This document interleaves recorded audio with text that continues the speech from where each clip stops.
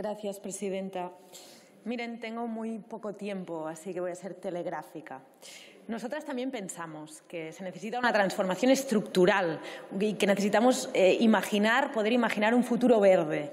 Pero lo que conlleva el Real Decreto que ustedes nos han traído hoy es totalmente contrario a todo esto. Nosotros pensamos que este Real Decreto agiliza los trámites para que la oligarquía política y económica española se quede con los fondos europeos.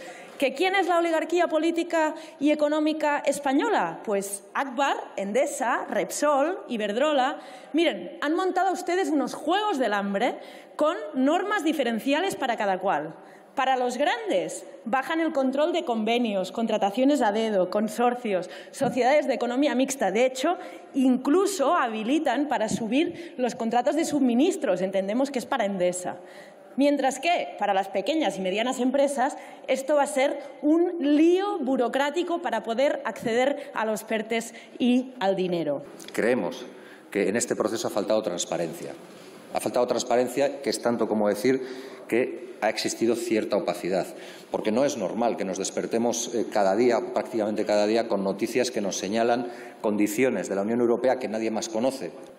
¿Van a volver ustedes a rescatar a las grandes empresas como en el 2008 se hizo con los bancos?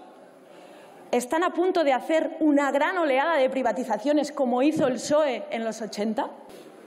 También falta transparencia cuando vemos cada vez, y ya se ha señalado, cómo aparecen eh, gráficos que señalan quiénes pueden ser las grandes empresas beneficiarias de todas estas ayudas. Y la mayoría de la gente desconoce todo esto.